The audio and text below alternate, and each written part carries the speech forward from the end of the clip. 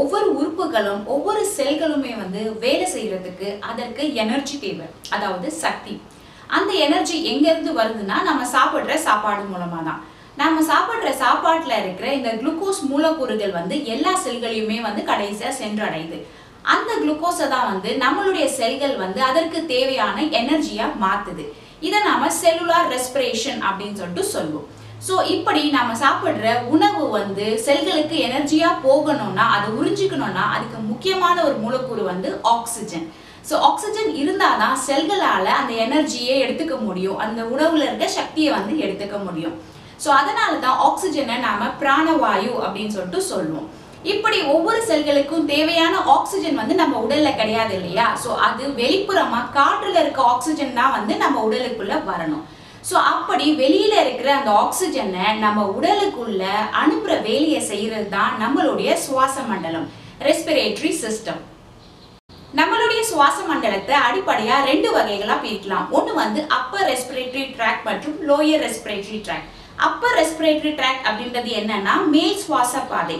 அதாவது மூக்கு துவாரம் ஃபேரிங்ஸ் அப்படின்ற குரல் வலை லாரிங்ஸ் இதெல்லாமே சேர்ந்தது அப்பர் ரெஸ்பிரேட்டரி ட்ராக் அதே மாதிரி கீழ் சுவாச பாதை லோயர் ரெஸ்பிரேட்டரி ட்ராக்ட் அப்படின்றது மூச்சுக்குழாய் ட்ரக்கியா பிராங்கை மற்றும் நுரையீரல் லங்ஸ் இதெல்லாமே சேர்ந்தது கீழ் சுவாச பாதை இந்த கீழ் சுவாச பாதையோடைய முக்கியமான உறுப்பு தான் வந்து நுரையீரல் லங்ஸ் இந்த வீடியோல நாம நுரையீரல் அதோடைய அமைப்பு எப்படி இருக்கும் அதுக்குள்ள என்னென்ன பாகங்கள் இருக்கு நுரையீரல் எப்படி வேலை செய்யுது நாம எப்படி மூச்சு விடுறோம் அப்படின்ற விஷயங்களை அறிவியல் பூர்வமா தெரிஞ்சுக்கலாம். நெஞ்சு குழி அப்படின்ற இந்த செஸ்ட் கேவிட்டியில விழா எலும்புகளுக்கு பின்னாடி ரெண்டு புறமும் இருப்பதுதான் வந்து நுரையீரல். தோராயமா இது வந்து ஒரு கோன் ஷேப்ல அதாவது கூம்பு வடிவத்துல இருக்கும். இதோடைய மேல் பகுதி பாத்தீங்கன்னா சிறிதளவு ரவுண்டாகவும் அடிப்பகுதி வந்து பிளாட்டாகவும் இருக்கும். நுரையீரலுடைய அடிப்பகுதி வந்து டயஃப்ரம் அப்படின்ற உதர விதானத்துல நெருக்கமா இருக்கும். வலதுபுற நுரையீரல் சைஸ்ல பெரிதா இருக்கும். ஆனா அதுவே வந்து இடது புறத்துல இருக்கிற நுரையீரல் கொஞ்சம் குறுகலா இருக்கும். ஏன்னா இந்த குறுகலான இருக்கிற இந்த பகுதியில தான் வந்து ஹார்ட் இருதயம் வந்து உட்காரத்துக்கான ஸ்பேஸ் வேணும். ஆனா அதுவே வந்து வலது பக்க நுரையீரல் பாத்தீங்கன்னா கொஞ்சம் ஷார்ட்டா இருக்கும். ஸோ அப்பதான் அதோடைய அடிப்பகுதியில கல்லீரல் லிவர் இருக்கிறதுக்கான இடம் கிடைக்கும். நம்மளுடைய வலதுபுற நுரையீரல் வந்து மூன்று பகுதிகளா இருக்கும். இதை லோப்ஸ் அப்படின்னு சொல்லுவோம். மேல் பகுதி நடுப்பகுதி மற்றும் கீழ்ப்பகுதி. ஆனா அதுவே வந்து இடதுபுறம் இருக்கிற நுரையீரல்ல வெறும் ரெண்டு பகுதிகள் மட்டும்தான் இருக்கும். மேல் பகுதி மற்றும் கீழ்ப்பகுதி. நுரையீரலுடைய ஒவ்வொரு பகுதிகளும் பார்த்தீங்கன்னா ஸ்பாஞ்ச் மாதிரி மெல்லிய திசுக்களால செய்யப்பட்டது. இந்த இரண்டு நுரையீரலுக்கும் இடைப்பட்ட பகுதி இருக்கு இல்லையா அந்த ஸ்பேஸ் வந்து நாம மீடியாஸ்டினம் அப்படின்னு சொல்லுவோம். ஸோ இந்த இடத்துல தான் இருதயம் தாய்மஸ் உணவு குழாய் போன்ற உறுப்புகள் வந்து இருக்கும். நமக்கு ரெண்டு நுரையீரல் வலது மற்றும் இடது அப்படின்னு ரெண்டு சைடு இருந்தாலும் ரெண்டு புறமும் அதோடைய வெயிட் வந்து சேமா இருக்காது. ஸோ வலது புறம் இருக்கிற நுரையீரல் பார்த்தீங்கன்னா வெயிட் வந்து கொஞ்சம் ஜாஸ்தியாக இருக்கும். ஸோ ரெண்டு பக்கம் இருக்கிற நுரையீரல் சேர்த்து நம்மளுடைய லங்ஸோடைய வெயிட் வந்து ஒன்று புள்ளி மூன்று கிலோ இருக்கும். நம்மளுடைய கீழ் சுவாச பாதை லோயர் ரெஸ்பிரேட்டரி ட்ராக் அப்படின்றது பார்த்தீங்கன்னா ட்ரக்கியா அப்படின்ற மூச்சு குழாய் இந்த நீண்ட குழாய் பகுதியில தான் வந்து தொடங்கும். இந்த மூச்சுக்குழாய் நுரையீரலுடைய கிட்ட வந்ததும் வலது மற்றும் இடது அப்படின்னு சொல்லிட்டு ரெண்டு பெரிய கிளைகளா பிரியும். இதை பிராங்காய் அப்படின்னு சொல்லுவோம். ஒவ்வொரு நுரையீரல்ல இருக்கிற இந்த பிராங்கையும் வந்து மேலும் சிறிய சிறிய பல கிளைகளா பிரிஞ்சு இருக்கும் இதை பிராங்கியோல்ஸ் அப்படின்னு சொல்லுவோம். கடைசியா ஒவ்வொரு கிளையோட நுனியிலும் ஒரு பை மாதிரியான அமைப்பு இருக்கும். இதுதான் வந்து ஆல்வியோலை இந்த ஆல்வியோலை தான் நம்மளுடைய நுரையீரல்ல இருக்கிற கடைசி நுனி பகுதி. ஸோ இந்த இடத்துல தான் நம்ம சுவாசிக்கிற வெளிப்புற காற்று வந்து ரத்தத்தில் கலக்கிற ஒரு முக்கியமான ஒரு பகுதி. ஸோ இந்த ஆல்வியோலை வந்து பார்க்கறதுக்கு காலிஃப்ளவர் இருக்கு இல்லையா? அதில் இருக்கிற அந்த பூக்கள் வந்து எப்படி இருக்கும்? ஸோ அதே மாதிரி தான் வந்து எக்ஸாக்டாக இருக்கும். ஆனால் ரொம்ப ரொம்ப சாஃப்டாக இருக்கும். இதை நம்ம காற்று பைகள் அப்படின்னு சொல்லிட்டு சொல்லுவோம். ஸோ இந்த மாதிரி நிறைய ஆல்வியோலை வந்து கொத்து கொத்தா நிறைய நம்மளுடைய நுரையீரலில் இருக்கும். ஆல்வியோலை என்ற இந்த காற்று பைகள் பார்த்தீங்கன்னா ரொம்ப ரொம்ப சிறிய சைஸ்ல இருக்கும். இதை நம்ம மைக்ரோஸ்கோப்பிக்காக தான் பார்க்க முடியும். இதை கொஞ்சம் ஜூம் பண்ணி பார்த்தா இப்படிதான் வந்து இதோடைய வடிவம் இருக்கும். ஒவ்வொரு ஆல்வியோலை மேலேயும் வந்து மிக மிக மெல்லிய ரத்த நாளங்கள் இருக்கும். ஸோ இதை நம்ம பிளட் கேபிலரிஸ் அப்படின்னு சொல்லிட்டு சொல்லுவோம். ஸோ உடல்ல இருந்து நல்ல ரத்தத்தை எடுத்துட்டு வர இந்த கேபிலரி ஆர்டரிஸும் அதே மாதிரி கெட்ட ரத்தத்தை எடுத்துட்டு போற இந்த கேபிலரி வெயின்ஸும் இந்த இடத்துல வந்து முடியும். இந்த ஆல்வியோலை முழுவதும் பார்த்தீங்கன்னா இந்த பிளட் கேபிலரிஸால சுற்றப்பட்டதா இருக்கும். ஸோ இந்த இடத்துல தான் நம்மளுடைய உடம்புல ஆக்சிஜனும் கார்பன் டை ஆக்சைடும் இந்த வாயு பரிமாற்றம் வந்து நடக்கும். அதாவது கேஸ் எக்ஸ்சேஞ்ச் வந்து இந்த இடத்துல தான் நுரையீரல்ல நடக்கும். ஒரு மனிதனுக்கு சராசரியா அவருடைய நுரையீரல்ல எழுநூறு மில்லியன் ஆல்வியோலைகள் இருக்கும். இந்த ஆல்வியோலை அப்படின்ற இந்த காற்று பைகள் தான் வந்து நம்ம ஆக்சிஜனை எடுத்துக்கிறதுக்கான முக்கியமான ஒரு உறுப்பு. ஸோ இந்த நுரையீரலை மொத்தமாக பாதுகாக்கிறதுக்கு நம்ம உடலில் பார்த்தீங்கன்னா வந்து ஒரு திசு படலம் மெம்ப்ரேன் இருக்குது இது வந்து ரெண்டு அடுக்குகளாக இருக்கும். இதை நம்ம ப்ளூரா அப்படின்னு சொல்லிட்டு சொல்லுவோம். இந்த ப்ளூரா அப்படின்ற நுரையீரலை பாதுகாக்கக்கூடிய இந்த மெம்ரேன் இந்த உரை பார்த்தீங்கன்னா வந்து மேல்புறம் மற்றும் உள்புறம் அப்படின்னு சொல்லிட்டு ரெண்டு அடுக்குகளா இருக்கும். இதுல மேல்புறம் இருக்கிற இந்த உரையை வந்து நம்ம பெரிட்டல் ப்ளூரா அப்படின்னு சொல்லுவோம். இது மார்பு சுவர் மேல ஒட்டின மாதிரி இருக்கும். அதே மாதிரி உள்புறமா நுரையீரல் மேலே இருக்கிற ஒரு மெல்லிய லேயர் வந்து விசரல் ப்ளூரா அப்படின்னு சொல்லிட்டு சொல்லுவோம். இந்த ரெண்டு இடைப்பட்ட இந்த ப்ளூரா அப்படின்ற இந்த உரைகளுக்கு நடுவ ப்ளூரல் ஃப்ளூயிட் அப்படின்ற ஒரு வகையான திரவம் இருக்கும். இந்த ப்ளூரா மற்றும் ப்ளூரல் ஃப்ளூயிட் அப்படின்ற இந்த திரவங்கள் தான் வந்து நம்மளுடைய நுரையீரல்ல ஃப்ரிக்ஷன் உராய்வு மற்றும் அதிர்வுகளிலிருந்து காப்பாற்றும். அதே மாதிரி ஒவ்வொரு ஆல்வியோலையுமே வந்து நம்ம காற்று பைகள் அப்படின்னு சொல்லிட்டு சொன்னோம் இல்லையா? இது வந்து ஒரு பிளாஸ்டிக் கேரி பேக் மாதிரி நினைச்சுக்கோங்க. ஸோ அந்த கேரி பேக்லக்குள்ள பார்த்தீங்கன்னா வந்து காற்று நிரம்பி இருக்கு. ஆனால் அதே சமயத்தில் அதுக்குள்ள வந்து ஈரமா ஒரு பிசுபிசுப்பு தன்மை இருக்கும்.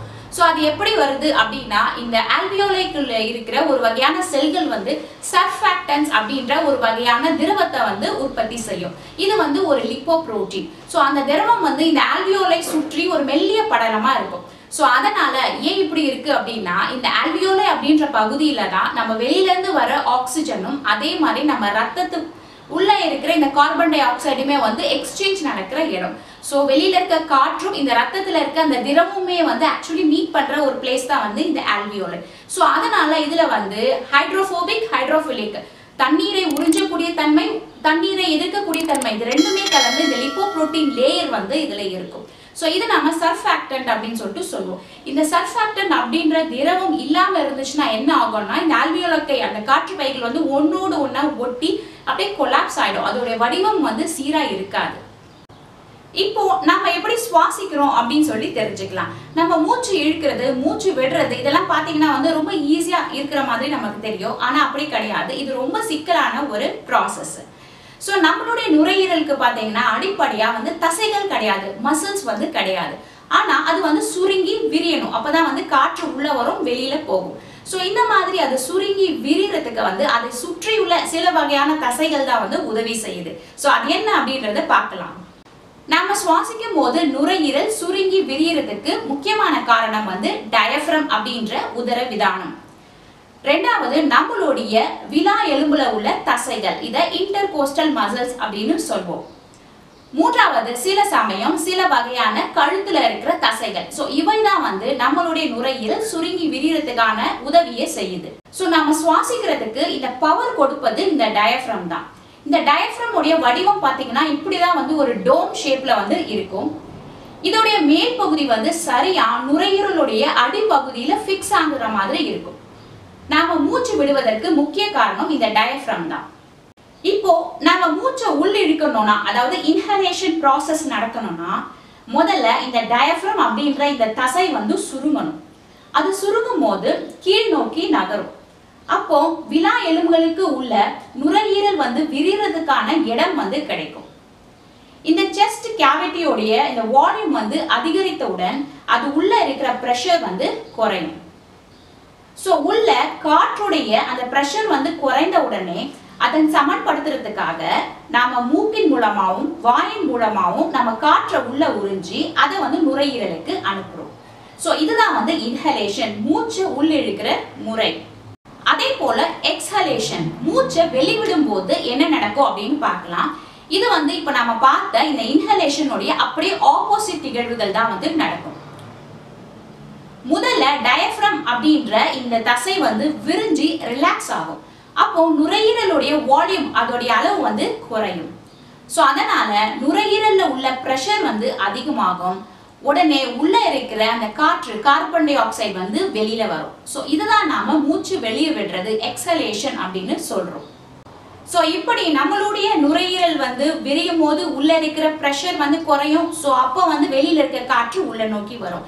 அதே மாதிரி மூச்சை வெளியே விடும் போது நுரையீரல் சுருங்கும் உள்ள இருக்கிற ப்ரெஷர் அதிகமாகும் அப்போ உள்ள இருக்கிற காற்று வெளியே போகும். ஸோ இப்படி தான் நாம வந்து ஒவ்வொரு நிமிஷமுமே வந்து சுவாசிச்சுட்டு இருக்கோம். ஸோ இந்த ப்ராசஸ் நடக்கணும்னா இதுக்கு அடிப்படையான முதல் காரணம் வந்து டயஃப்ரம் அப்படின்ற அந்த தசை தான் ஸோ அது சுருங்க ஆரம்பிச்ச பிறகுதான் வந்து நம்ம மூச்சு விடவே முடியும். ஸோ ஒவ்வொரு நிமிஷமும் வந்து நமக்கு தொடர்ந்து இது நடந்துகிட்டே தான் இருக்கு. ஸோ அதனால தான் நம்ம உயிரோடவே இருக்கிறோம்.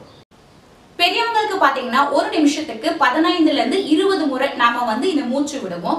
ஸோ தோராயமா ஒரு நாளைக்கு வந்து இருபதாயிரம் முறை நாம இந்த பிரீத்திங்கை வந்து செய்யறோம் ஆனா அதே வந்து சிறிய குழந்தைகள் பிறந்த குழந்தைகள் பாத்தீங்கன்னா அவங்களுடைய மூச்சு விடுற அந்த ஸ்பீடு வந்து ஜாஸ்தியா இருக்கும். ஏறக்குறைய ஒரு நிமிஷத்துக்கு நாற்பது முறை வந்து அவங்க மூச்சை உள்ள இழுத்து வெளியே விடுவாங்க. சரி இப்போ நாம எப்படி மூச்சு உள்ள இழுக்கிறோம் வெளியே விடுறோம் அப்படின்னு சொல்லி தெரிஞ்சுக்கிட்டோம். இப்போ நாம உள்ள இழுத்த அந்த ஆக்சிஜன் வந்து எப்படி நம்மளுடைய செல்களுக்கு போகுது? செல்களில் இருக்கிற கார்பன் டை ஆக்சைடு எப்படி வெளியில போகுது அப்படின்றத பார்க்கலாம். ஒவ்வொரு ஆல்வியோலை மேலேயும் இந்த கேபிலரிஸ் அப்படின்ற நூன் ரத்த குழாய்கள் இருக்கு அப்படின்னு நம்ம பார்த்தோம் இல்லையா? ஸோ இங்கே தான் வந்து இந்த gas oxygen carbon dioxide பரிமாற்றம் வந்து நடக்கும். ஸோ இது எப்படி நடக்குது அப்படின்னா இப்போ பார்த்தீங்கன்னா இது வந்து ஒரு ஆல்வியோலை இதோடைய மேல் பரப்புல மெல்லிதா வந்து ஒரு லேயரால செய்யப்பட்டது. அதே மாதிரி இந்த ஆல்வியோலை பக்கத்துல அதை சுற்றி இருக்கு இல்லையா இந்த பகுதி தான் வந்து பிளட் கேபிலரிஸ் இப்போ இந்த கேபிலரிஸ் வழி வந்து ரத்தம் போயிட்டே இருக்கும்.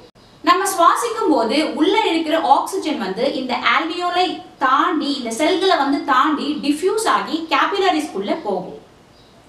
அந்த ஆக்சிஜனை அந்த வழியா போயிட்டு இருக்க சிவப்பு ரத்த அணுக்கள் ரெட் பிளட் செல்ஸ் இருக்கு இல்லையா? அவை வந்து தன்னுடைய ஹீமோகுளோபின்ல இணைச்சு ஆக்சி ஹீமோகுளோபினா கொண்டு மாற்றும். ஸோ இதுதான் வந்து ஆக்சிஜன் நிறைந்த சுத்தமான ரத்தம் ஸோ இவை வந்து இப்போ கேபிலரி ஆர்ட்ரிஸ் வழியா எல்லாம் ஒன்னா கலெக்ட் ஆகி வெளியேறி நேராக ஹார்ட்டுக்கு போகும். ஸோ அதன் பிறகு ஹார்ட் வந்து இந்த நல்ல ரத்தத்தை எல்லா உறுப்புகளுக்கும் பிரித்து அனுப்பும்.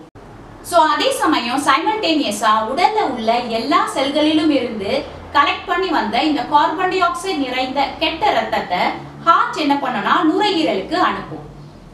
ஸோ அவை வந்து இந்த கேபிலரி வெயின்ஸ் வழியாக கடைசியில் ஆல்வியோலை பக்கத்தில் வந்து முடியும் இவை வந்து கார்பன் டை ஆக்சைடு கேஸை அதே மாதிரி டிஃப்யூஷன் மூலமாக ஆல்வியோலைக்கு அனுப்பும். பிறகு அந்த கார்பன் டை ஆக்சைடு தான் நாம சுவாசம் மூலமாக வெளியேற்றுறோம். ஸோ இப்படி பார்த்தீங்கன்னா நம்மளுடைய நுரையீரலில் இந்த ஆல்வியோலை அப்படின்ற இந்த காற்று பைகள்லையும் அது பக்கத்துல இருக்கிற இந்த கேபிலரிஸ் அப்படின்ற அந்த ரத்த குழாய்கள்லையுமே பார்த்தீங்கன்னா வந்து இந்த oxygen carbon dioxide exchange நடக்குது. ஸோ இது வந்து டிஃப்யூஷன் அப்படின்ற முறையில் நடக்குது.